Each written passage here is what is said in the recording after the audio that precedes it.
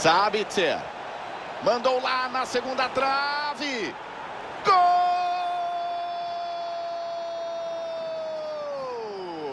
Para passar à frente no agregado, Caio. E assim estão evitando a prorrogação. Mas não tem nada decidido ainda. Vilani, tem jogo.